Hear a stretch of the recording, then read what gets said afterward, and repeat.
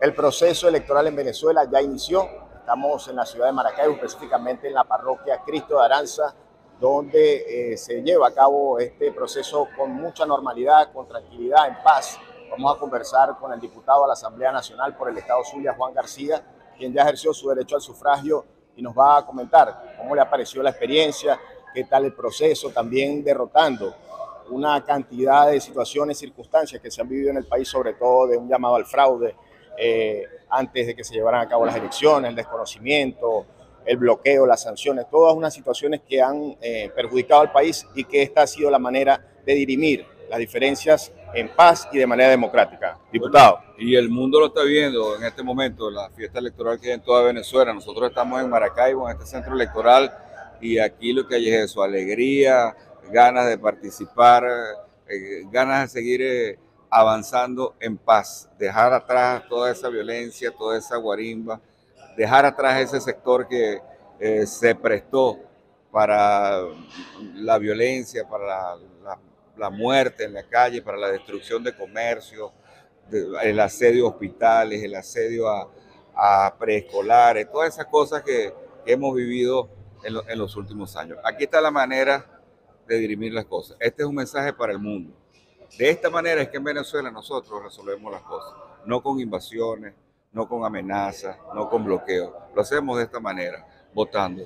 Y hoy está el pueblo de Venezuela en la calle votando para decidir eh, el futuro de los próximos años, para decidir la protección de nuestra riqueza, para decidir la protección de nuestra soberanía y para defender la paz y seguir construyendo juntos el camino definitivo de la prosperidad. Así que adelante, salgamos todos a votar y a seguir trabajando por una Venezuela robusta, una Venezuela sólida para nuestros nietos, para nuestros niños y para todos los que están por venir. Diputado, brevemente también una fecha icónica en Venezuela, el cumpleaños número 70 de Hugo Chávez Frías, quien dejó un legado en la sociedad venezolana que hoy también se ve reflejado con estas elecciones. Bueno, esto es una obra de Chávez esto es una obra de Chávez. Eh, es la elección número 31 desde que Chávez asumió el poder. Porque como parafraseando al presidente Lula, cuando en Venezuela no había elecciones, Chávez las inventaba. Porque esta es la manera pues, de, los pueblos libres del mundo, los pueblos democráticos del mundo, en el ejercicio pleno de la democracia participativa y protagónica se pueden resolver las cosas así, votando.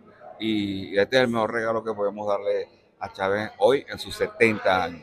Salir a votar por la paz de Venezuela, por la protección de nuestras riquezas, por la defensa del Esequibo, por lo nuestro, por nuestros valores, por nuestra cultura, eh, por nuestra idiosincrasia, por nuestra diversidad. Por todo eso nosotros tenemos que salir a votar hoy para darle ese regalo a nuestro presidente Hugo Chávez en su cumpleaños número 70.